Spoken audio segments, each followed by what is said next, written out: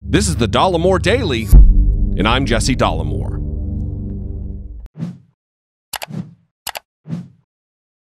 I have long talked about Fox News being a bastion for some of the worst and most dangerously dividing ideas and policy out there. The network is filled to the brim with hateful white supremacists, racists, and liars who profit off ginning up fear and paranoia and anger related to immigrants and Muslims and poor people, among other groups. Well, finally, a Democratic presidential candidate is speaking up and refusing to participate in a town hall hosted on what has become the official network of the Trump 2020 campaign. As if you needed more reason to like the woman bursting with a seemingly endless supply of fantastic, ready to be implemented policies, Elizabeth Warren has rejected an invitation from Fox News to appear on a televised town hall and not only has she refused their invitation, she has given the best and most accurate and principled reason because they're a quote, hate for profit racket that gives a megaphone to racists and conspiracists. Specifically and more fully, she said this quote, I love town halls. I've done more than 70 since January, and I'm glad to have a television audience be part of them. Fox News has invited me to do a town hall, but I'm turning them down. Here's why. Fox News is a hate for profit racket that gives a megaphone to racists and conspiracists. It's designed to turn us against each other, risking life and death consequences, to provide cover for the corruption that's rotting our government and hollowing out our middle class. Hate for profit works only if there's profit. So Fox News balances a mix of bigotry, racism, and outright lies with enough legit journalism to make the claim to advertisers that it's a reputable news outlet. It's all about dragging in ad money, big ad money. But Fox News is struggling as more and more advertisers pull out of their hate filled space.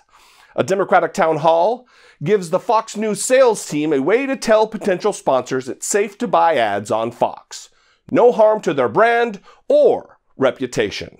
Spoiler, it's not. Here's one place we can fight back. I won't ask millions of Democratic primary voters to tune in to an outlet that profits from racism and hate in order to see our candidates, especially when Fox will make even more money adding our valuable audience to their rating numbers. I'm running a campaign to reach all Americans. I take questions from the press and voters everywhere I go. I've already held town halls in 17 states and Puerto Rico, including West Virginia, Ohio, Georgia, Utah, Tennessee, Texas, Colorado, Mississippi, and Alabama. I've done 57 media availabilities and 131 interviews, taking over 1,100 questions from the press just since January. Fox News is welcome to come to my events just like any other outlet, but a Fox News town hall adds money to the hate for profit machine to which I say, hard pass, unquote. That is spectacular. And more importantly, that is correct. I completely agree that signing on to be the single draw attraction is a problem. And it's different than just generally appearing on one of their programs to talk about a particular legislative initiative for three minutes or so. A town hall is different. A town hall is an hour long standalone event that would be hyped and advertised and would likely bring in a lot larger audience than would normally be enjoyed. A larger, broader audience, including Americans who would not normally watch Fox News, which in turn helps add a ratings boost, which would aid in them driving up their advertising rates and helping to replace ad revenue, which was lost as a result of their many, many sponsors having taken their ad dollars off their white supremacist lineup. Look, I'm not going to put some of these other Democratic candidates on blast for choosing to participate in Fox News town halls. Bernie Sanders and Amy Klobuchar have chosen to do so. And Pete Buttigieg and Kirsten Gillibrand are on the schedule to do so as well.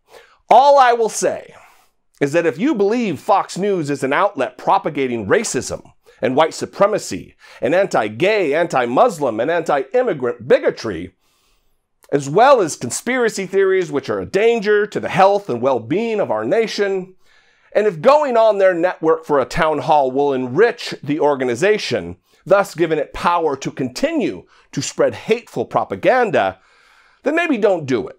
Join Elizabeth Warren and decent Americans all over the country in taking a stand against Fox News.